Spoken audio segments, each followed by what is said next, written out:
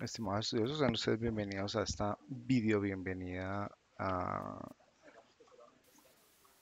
para la asignatura de mantenimiento, sistemas de dirección, suspensión y frenos. El objetivo de esta mm, videoconferencia es presentarles el aula, las fechas, el programa, el planteamiento y definir las reglas necesarias para mm, eh, lograr el objetivo que tenemos en común y es construir unas competencias particulares. Entonces, básicamente la asignatura de, man- de mantenimiento de sistemas de, dirección, suspensión y frenos eh, tiene una importancia en el sentido de que eh, estaríamos hablando de sistemas de seguridad dentro del vehículo. En ese orden de ideas, eh, la verificación, bueno, el ejercicio de planeación, programación y ejecución de las tareas de mantenimiento de este tipo de eh, subsistemas son fundamentales, mm, siendo coherentes con la responsabilidad de estos eh, mismos eh, subsistemas. Mm, según la recomendación de la ISO eh, que soporta a los fabricantes de autopartes, eh, los sistemas de seguridad eh, requieren mm, trabajar con, con una MEF de proceso y de diseño, en donde se hace un análisis de modo de, de- falla, en donde se evalúan los diferentes eh, ah, procesos que transforman la o las piezas que conforman eh, este eh, conjunto. Estamos, estamos hablando de la suspensión o del el- el conjunto de los frenos, aunque, por ejemplo, las suspensiones neumáticas hoy están haciendo un mix entre mm, suspensiones y frenos y los sistemas de dirección. Bien, eh, básicamente van a encontrar ustedes cuatro módulos. La guía didáctica, un módulo uno, sistemas de dirección, eh, suspensión y frenos, en donde trabajamos los sistemas de dirección. En el segundo, las averías más comunes en el sistema de suspensión del automóvil. Y el último, mm, evaluamos sistemas de frenos. Esta es una asignatura de tres créditos académicos que dura seis semanas y que acaba de abrir el pasado, el pasado 16 de abril.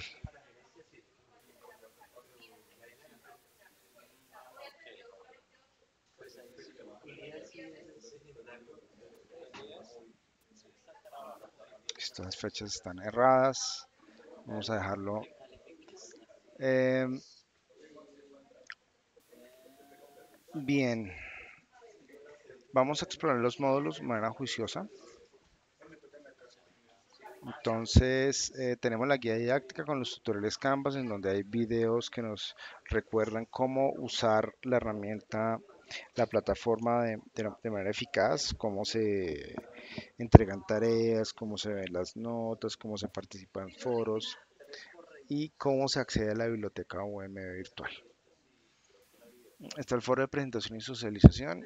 Yo los invito, aprovecho este escenario para invitarlos a que participen activamente. Aquí me presento, les presento una fotografía mía les cuento cuáles son los horarios en los que yo telefónicamente los puedo atender en el 5, eh, 546-0600, extensión 14.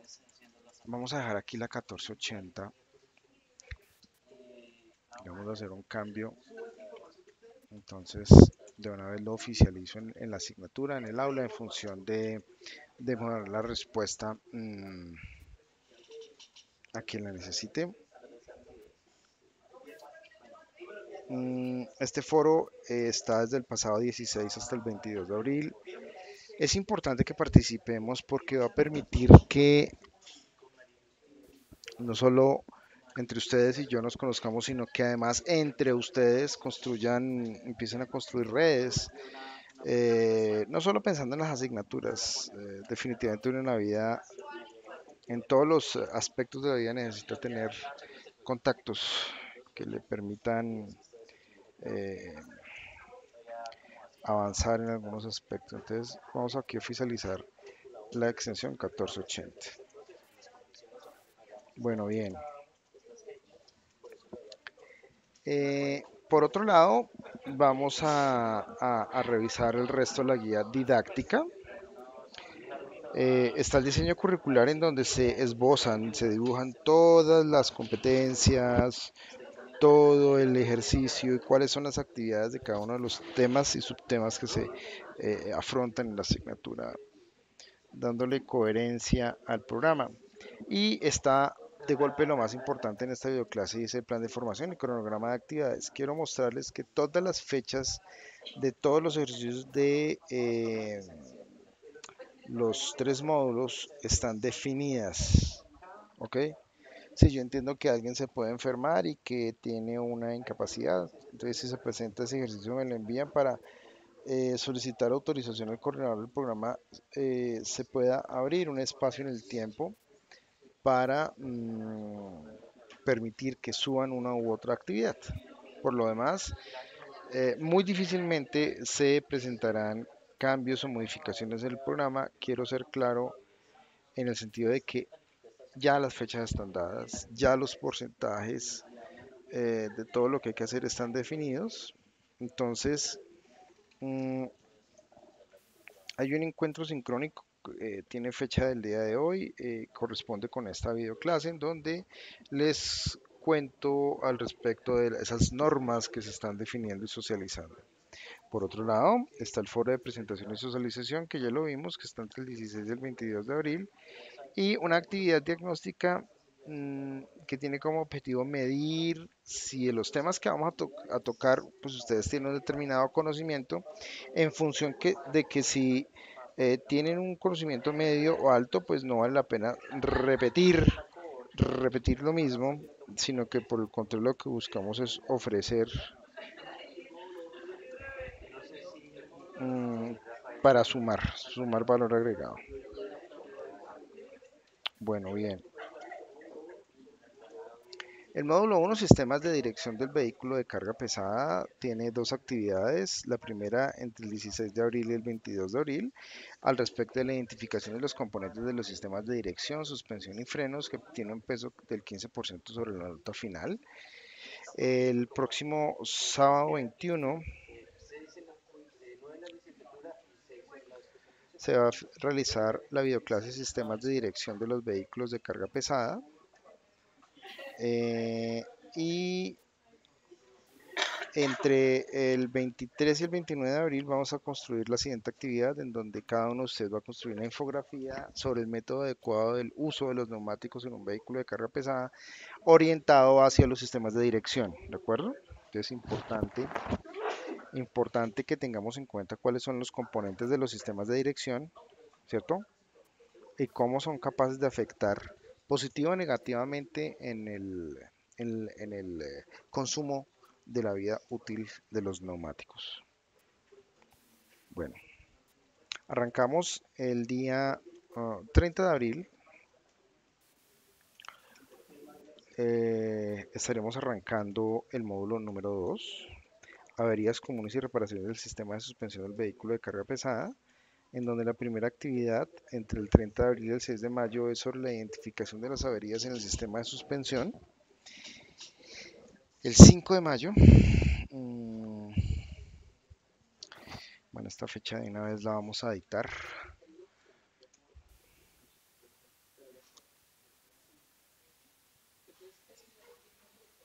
Vamos a hacer un cambio acá. Porque em, conseguí hacer una videoclase sobre suspensiones neumáticas.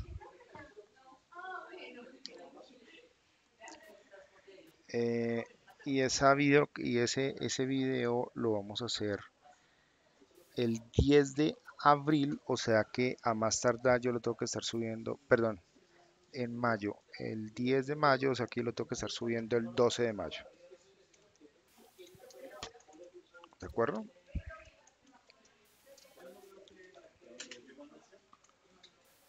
...6 de mayo, listo.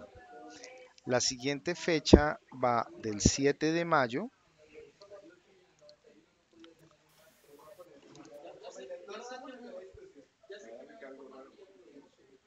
y mm, como el 14, el lunes 14 es festivo, eh, hasta el lunes festivo 14 se reciben en la, se recibirían en la plataforma entregas arrancando el día 15 de mayo el módulo 3 averías eh, comunes y reparación de los sistemas de los sistemas de frenos con la primera actividad de identificación de los tipos de sistemas de frenos entre el 15 de mayo y el 22 de mayo. Una videoclase a realizarse el 19 de mayo sobre sistemas de frenos de vehículos de carga pesada y una evaluación final entre el 21 y el 27 de mayo. ¿De acuerdo? Mm, el cierre de la asignatura se realizará el 9 de junio, de tal manera que después de la semana del 27 de mayo, eh, a más tardar el 2 de junio deben estar muy claras las notas. Eh, tipo 30, 31 de mayo les estaré enviando un anuncio, un correo indicándoles que por favor verifiquen todas las notas y eh, para hacerlas oficiales a partir del 2 de junio, haciendo el cierre final del aula por tarde del 9 de junio. Bien, en ese orden de ideas, eh, les repito que es súper importante cumplir con las fechas planeadas de entrega en función del ejercicio. Bien. Mm, entonces, eh, las entregas que califican son dos para el módulo 1, eh, una que cierra el 22 de abril, otra que cierra el 29, cada una con el 15%, dos para el módulo 2, cada una con el 15%, Uh,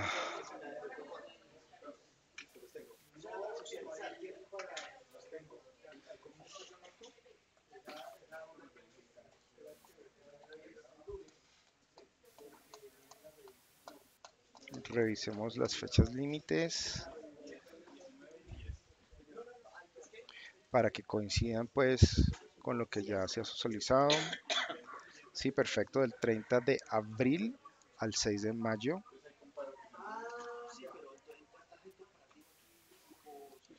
Y la siguiente mm,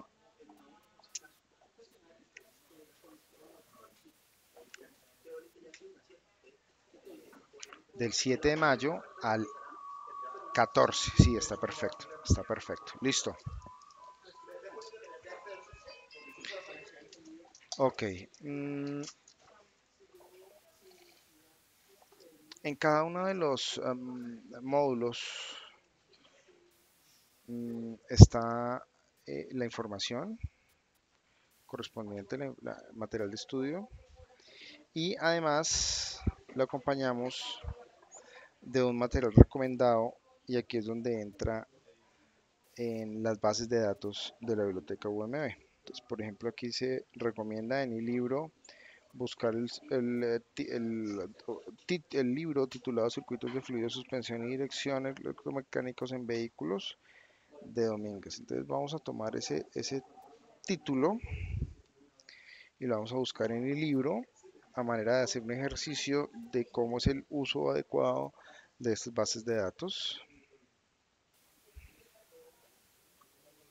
Entonces, eh, no lo vamos a buscar como palabra clave ni como título ni como autor en, la, en el UMB buscador, sino vamos a ir directamente a la base de datos y libro, en donde primero que todo hay que ver un tutorial que dura 5 minutos 6 segundos, donde nos explican cómo eh,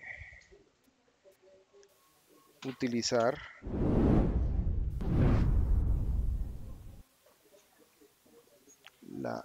esta base de datos en particular. Supremamente importante. Base de datos con más de 82.000 títulos en línea de todas las áreas del conocimiento y en español. En ese video nos explican cómo se debe, Para poder...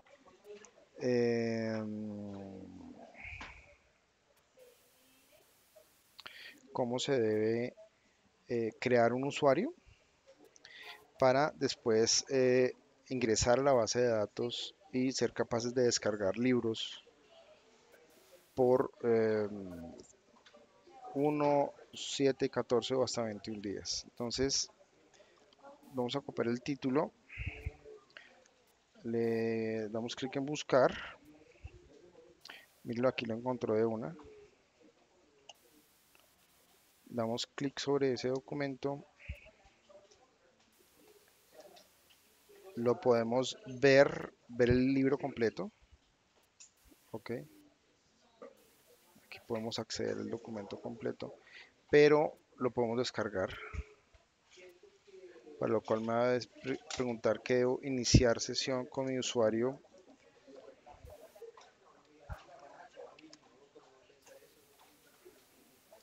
¿cierto?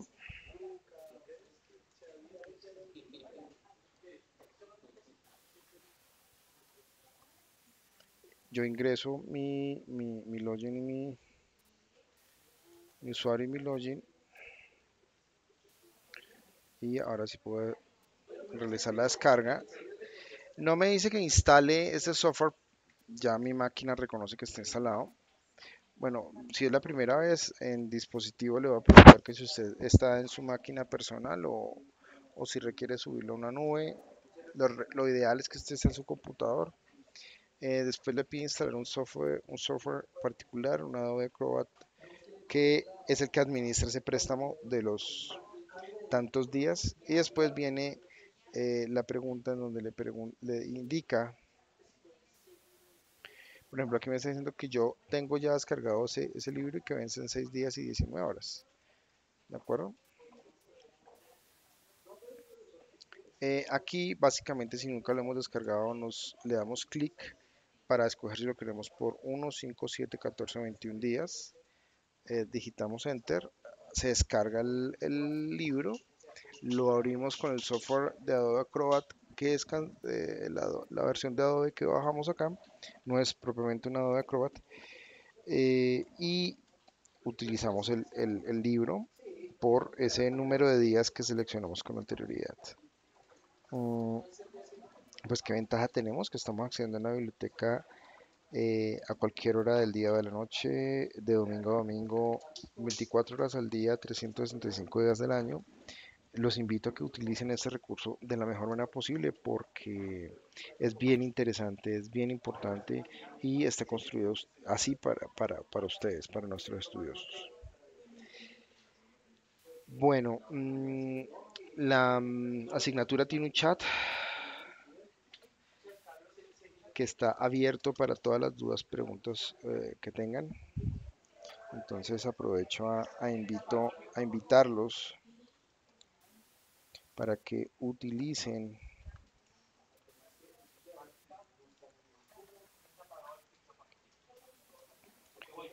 para realizar preguntas.